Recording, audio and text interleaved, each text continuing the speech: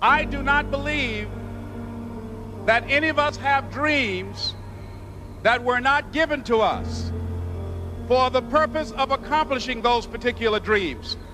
I don't know what that dream is that you have. I don't care how far-fetched it might appear to be. I don't care how disappointing it might have been as you've been working toward that dream. But here's what I know. That that dream that you're holding in your mind, that it's possible.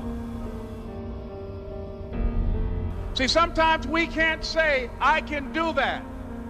But what we can say, that it's possible that I can have my dream as we run toward it, as we work on it day in and day out. No one, ladies and gentlemen, could have convinced me when I started out just over six years ago working on my dream. And I want you to think about whatever your dream is because I was willing to take a chance. And most people won't do that.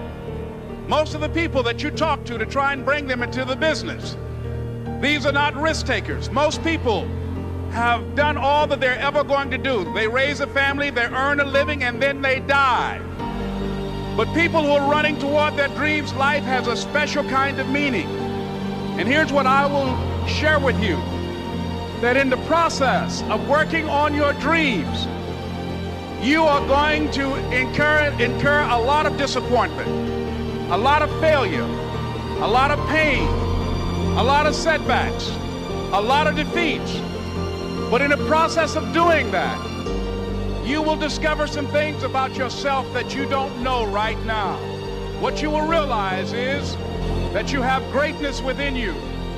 What you'll realize is that you're more powerful than you can ever begin to imagine what you will realize is that you're greater than your circumstances, that you don't have to go through life being a victim.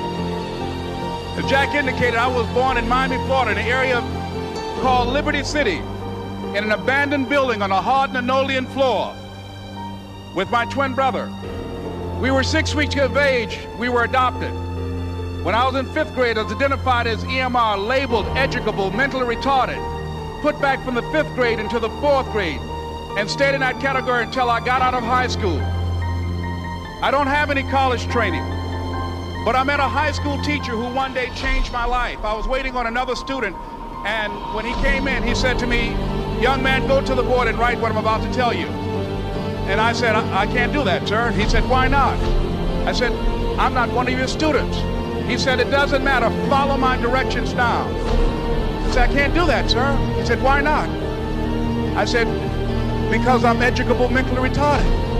And he came from behind his desk and he looked at me. He said, don't ever say that again. Someone's opinion of you does not have to become your reality.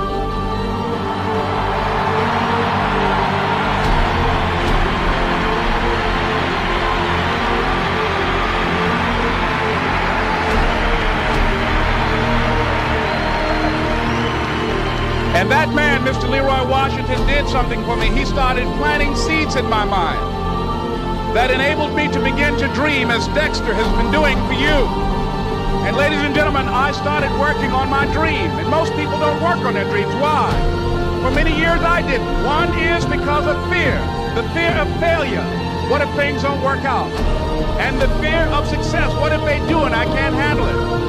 The other thing is that most people, ladies and gentlemen, they get comfortable. They stop growing, they stop working on themselves, they stop stretching, they stop pushing themselves, and they end up becoming very cynical about life, and they throw in the towel on themselves, and on their families, and on their dreams.